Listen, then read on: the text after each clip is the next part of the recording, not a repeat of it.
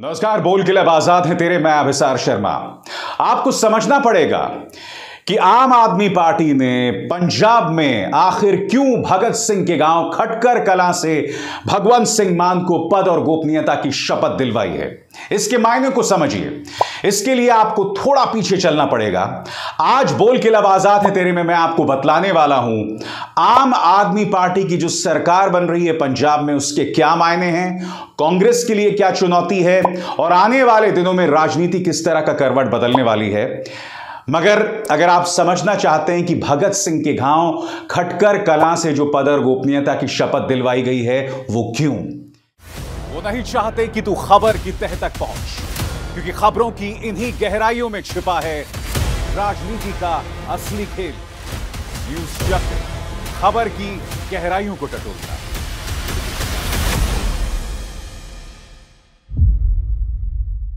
क्योंकि राष्ट्रवाद के सबसे बड़े प्रतीक हैं भगत सिंह। भगत सिंह जिनकी पृष्ठभूमि पंजाब की है। और आखिर क्यों राष्ट्रवाद का ढोल पीट रही है आम आदमी पार्टी? उसके लिए आपको कुछ देर पहले चलना पड़ेगा। आपकी स्क्रीन पर ये हैं कवि कुमार विश्वास। पंजाब चुनावों से ठीक पहले एक रहस्यमय बयान देते हैं और उसमें वे कहते हैं कि अरविंद केजरीवाल ने एक बार बातचीत में उनसे कहा था कि उन्हें इस बात पर कोई आपत्ति नहीं होगी कि पंजाब देश से अलग हो जाए, और अगर जब पंजाब देश से अलग हो जाएगा तो मैं उस स्वतंत्र देश का प्रधानमंत्री हो जाऊँगा। उसको लेकर ज़बरदस्त बवाल हुआ था। उस मुद्दे को न सिर्फ़ प्रधानमंत्री नरेंद्र मोदी, बल्कि राहुल गांधी ने भी उठाया था। बकौल राहुल गांधी, ऐसे लोगों को सत्ता नहीं दी जा सकती, जिनकी देशभक्ति पर सवाल है, क्योंकि पंजाब एक बॉर्डर स्टेट है, लिहाजा पंजाब की जनता ऐसा तजुर्बा नहीं कर सकती। आम आदमी पार्टी रक्षात्मक मुद्रा में आती है। और नतीजा यह होता है कि अरविंद केजरीवाल को सामने आना पड़ता है और वो अपने आप को एक स्वीट आतंकवादी तक बता डालते हैं। क्यों कहते हैं अपने आप को स्वीट आतंकवादी? सुनिए। पिछले दस साल में तीन साल तो कांग्रेस की सरकार थी। कांग्रेस वालों ने क्या किया? सो रहे थे वो लोग। सात साल से बीजेपी की सरकार है, केंद्र में मोदी सरकार है। मोदी जी ने क्या किया? मेरे को गिरफ़्तार क्यों नहीं किया? इनकी एजेंसीज क्या कर रही थी अभी तक? तो ये ऐसी हास्यास्पद बात है जिसको मतलब सुन के ही हँसी आती है। और शायद मैं दुनिया का सबसे स्वीट आतंकवादी होऊँगा, जो लोगों के लिए अस्पताल बनवाता है, लोगों के लिए स्कूल बनवाता है, बुज़ुर्गों को तीर्थ यात्रा पे भेजता है।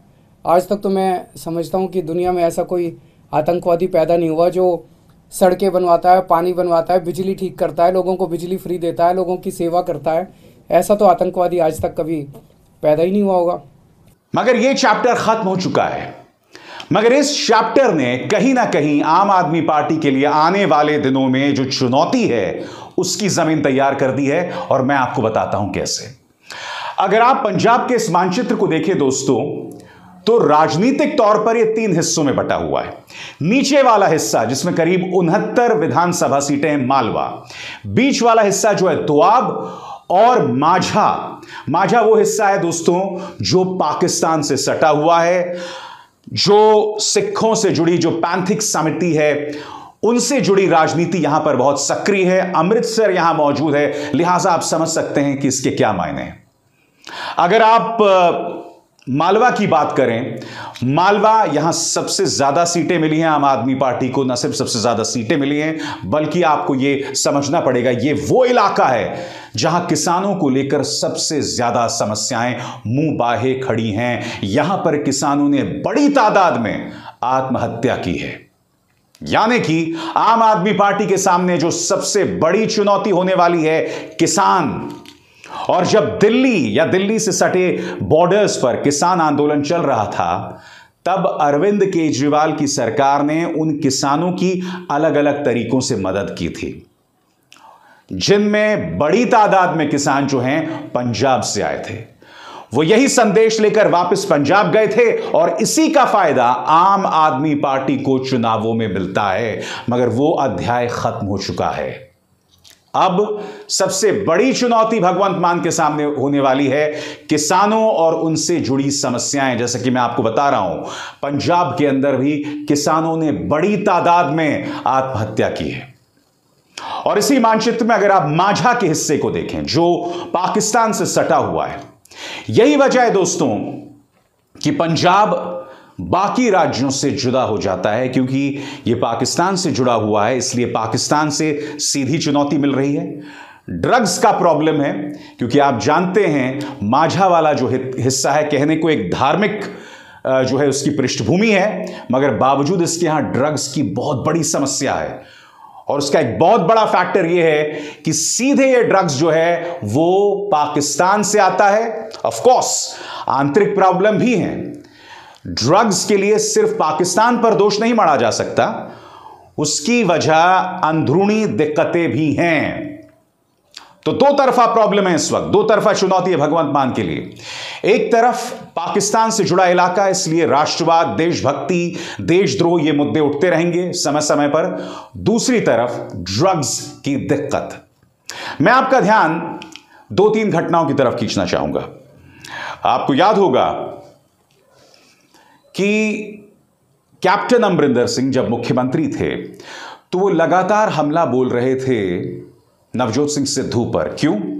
क्योंकि उनका यह आरोप था कि नवजोत सिंह सिद्धू इमरान खान के बहुत अच्छे दोस्त हैं, और उन्होंने यह भी आरोप लगाया कि नवजोत सिंह सिद्धू मंत्री बने रहें, इसके लिए दबाव उन्हें पाकिस्तान से आया था। जो अपने आप में बहुत ही हास्यास्पद बात है दोस्तों, क्योंकि अगर ये बात सही होती तो आपको उसी वक्त ये बात कहनी चाहिए थी। आपने बात कब कही? जब आप बीजेपी, आपने बीजेपी के साथ आप शामिल हो गए और आप एक प्रेस कॉन्फ्रेंस में जेपी नड्डा के साथ ये बात कह रहे होते हैं। कैप्टन अमरिंदर सिंह बार बार पाकिस्तान का राग छेड़ते हैं। यह बात अलग है कि पाकिस्तान की एक नागरिक उनके घर में रहती हैं, उनकी बहुत अच्छी दोस्त हैं और इनकी इस बहुत अच्छी दोस्त के बारे में अक्सर सवाल किए जाते हैं। मैं आपके सामने बात क्यों रख रहा हूँ दोस्तों?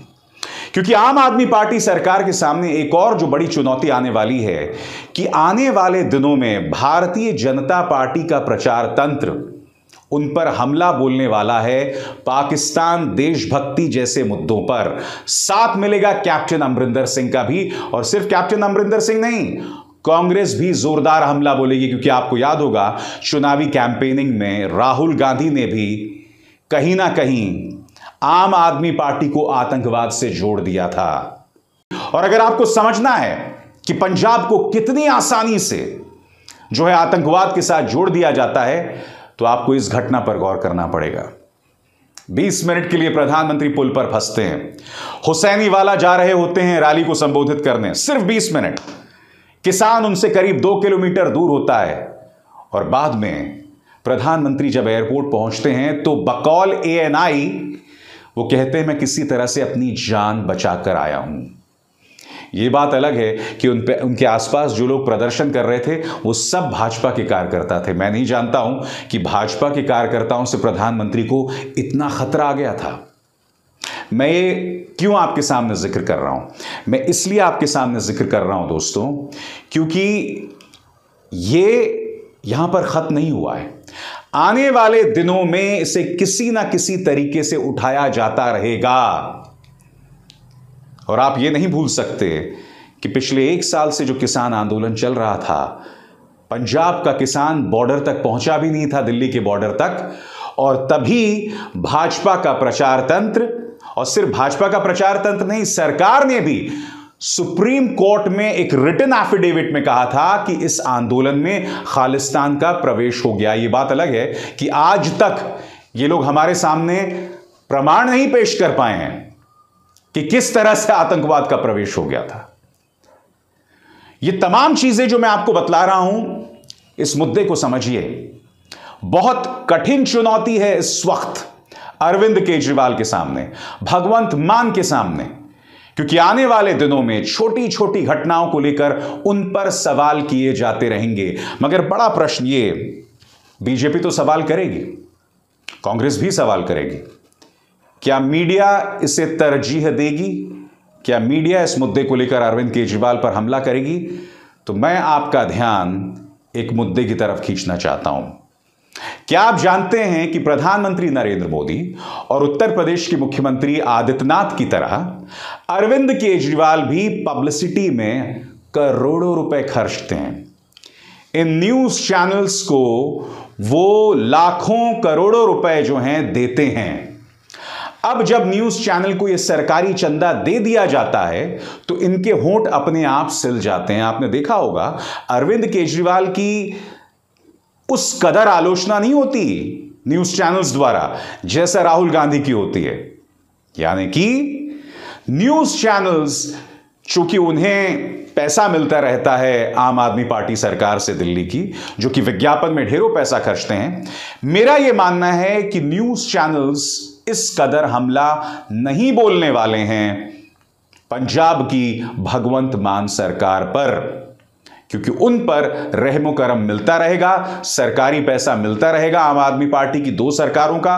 और आप जानते हैं कि हमारी मीडिया वहीं पर अपना मुँह खोलती है, या अगर मैं शुद्ध हिंदी में कहूँ, वहीं पर भौंकती है, जहाँ उसे कुछ फ़ायदा ना दिखाई दे रहा हो। राजनीतिक तौर पर आम आदमी पार्टी को कोई चुनौती नहीं मिलने वाली है भाजपा से, ना अकाली दल से।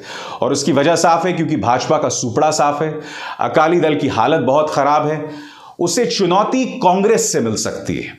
मगर कांग्रेस में इस वक्त एक बहुत ज़बरदस्त भूचाल आया हुआ है।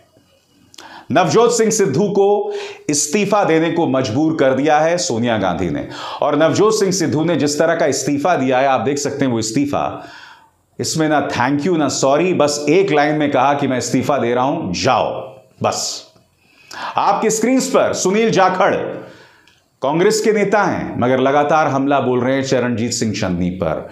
यानी कि कांग्रेस के अंदर जूतम पैजार चल रही है। कोई किसी की नहीं सुन रहा है। तमाम जो बड़े नेता हैं, एक दूसरे को नोचने पर लगे हुए हैं। अभी चरणजीत सिंह चन्नी खामोश हैं। उन्होंने कुछ नहीं कहा है। मगर क्या करें साहब? इतनी करारी हार थी। कोप भवन से आने में बाहर आने में अभी वक्त लगेगा क्योंकि दोनों सीटें हार गए राज्य हार गए। हम्म, खासकर इस बात की पृष्ठभूमि में कि जो आपका सो कॉल्ड मुख्य ऑपोजिशन था अकाली दल बीजेपी एक अरसे से उसका तो सुपड़ा साफ़ हो ही गया था और चुनावों से पहले ही हो गया था। तो एक तरह से कहा जा सकता है कि कांग्रेस के अंदर जो जूतम पैजार चल रही है, उसके चलते मुझे ऐसा लगता है कि कम से कम राजनीतिक तौर पर आने वाले कई दिनों तक आम आदमी पार्टी की पंजाब सरकार को कोई चुनौती नहीं मिलने वाली है।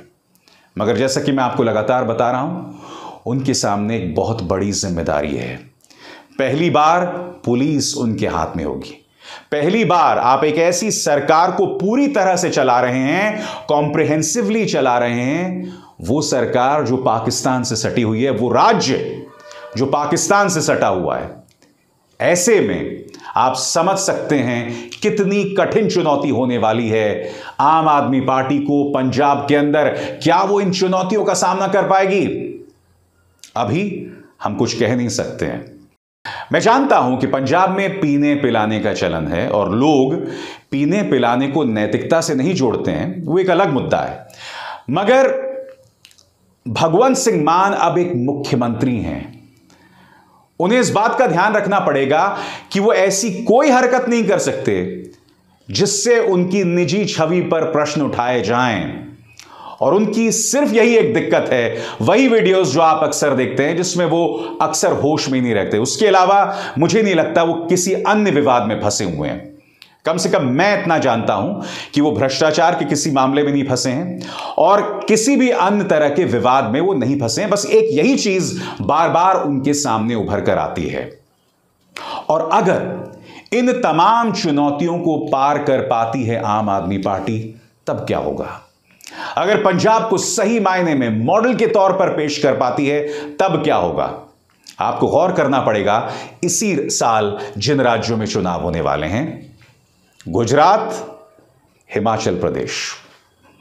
गुजरात से इस वक्त कई व्यापारी दिल्ली में डेरा डाले हुए हैं। ये कौन व्यापारी हैं जो भारतीय जनता पार्टी से खुश नहीं हैं?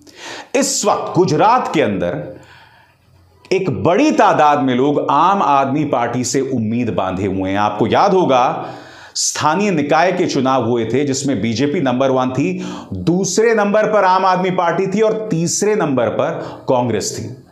कांग्रेस की हालत इस वक्त इतनी खराब है दोस्तों गुजरात के अंदर कि कोई एक्शन ही नहीं हो रहा है। प्रधानमंत्री नरेंद्र मोदी नतीजों के अगले ही दिन वहाँ पर रोड शो शुरू कर देते हैं और कांग्रेस में पूरा सन्नाटा है। जबकि आप जानते हैं कि दिसंबर में, इसी साल के अंत में, दिसंबर में गुजरात में चुनाव होंगे। इसलिए आम आदमी पार्टी सीधी चुनौती देने वाली है कांग्रेस को गुजरात के अंदर। हिमाचल एक और राज्य दोस्तों, छोटा राज्य है और आप जानते हैं जो उपचुनाव हुए थे हाल ही के दिनों में, भारतीय जनता पार्टी को करारी हार का सामना करना पड़ा था। लोकसभा चुनाव वो हार गए थे। ऐसे में क्या हिमाचल की जनता आम आदमी पार्टी में अपनी उम्मीद ढूंढ सकती है? यह भी एक बड़ा प्रश्न है, क्योंकि आम आदमी पार्टी ने कई राज्यों में, चाहे वो गोवा हो कुछ हद तक उत्तराखंड में अपनी मौजूदगी दर्ज की है। और मैं बात सीटों की नहीं कर रहा हूँ, मैं राजनीतिक मौजूदगी की बात कर रहा हूँ।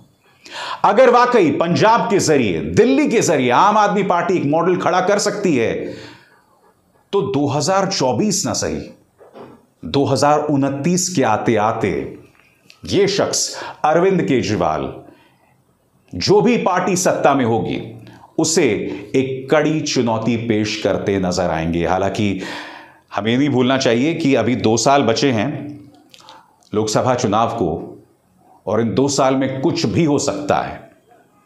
कुछ लोग ये उम्मीद कर रहे हैं कि कांग्रेस में वो चमत्कार हो जाएगा, कांग्रेस फिर से रिवाइव हो जाएगी। मुझे कुछ बहुत ज़्यादा उम्मीद नहीं दिखाई देती है। मगर हाँ, आम आदमी पार्टी जो है, वो इस वक्त उछाल पर है। और क्या ये उछाल इसे 2024 के लोकसभा चुनावों में एक सीरियस दावेदार, एक गंभीर दावेदार के तौर पर पेश कर पाएगा? चुनौती कठिन है, मगर हम सब उस पर निगाह रखे हुए हैं। अभिसार शर्मा को दीजिए इजाज़त। नमस्कार।